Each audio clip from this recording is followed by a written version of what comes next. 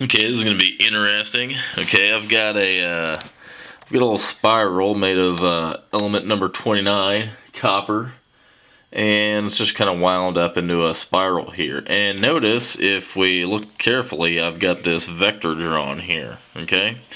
Um, and that's basically to, um, I want you to kind of think about what we did last time when we talked about vector equations and you know that, that equation of a line and how I related it to like polar coordinates.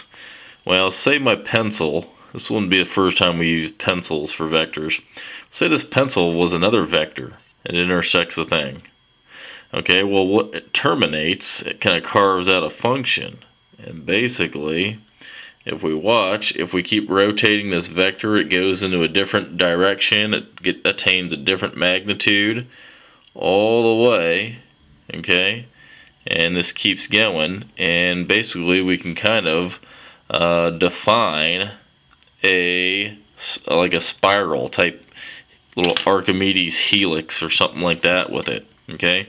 Um, so that's basically what we're gonna do is basically we're gonna take you know this vector okay? You know and it might be you know here you know it terminates there that's no problem. You know it terminates over here you know, and that sort of thing.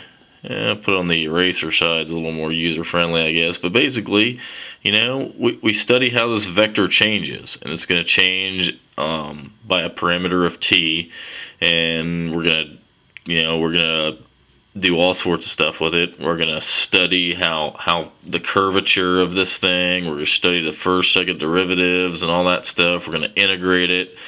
Um, we're going to find how long this this uh, vector curve is, which is actually quite easy.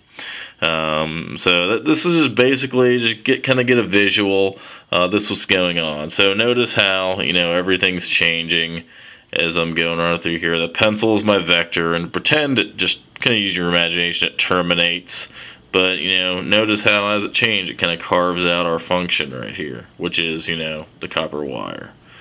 So hopefully this is a good way to introduce it to you. And in the next video I'll do a little more I'll be a little more formal about it and we'll kind of draw it out okay? So there we go alright